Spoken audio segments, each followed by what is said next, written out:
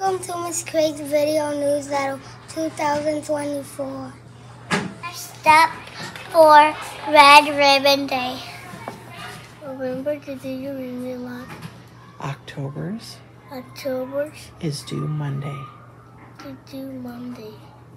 And Lena and me, we are Reviewing revealing our personal personal mission statement. We, we do fun every day. We are reading and writing about being a good community member.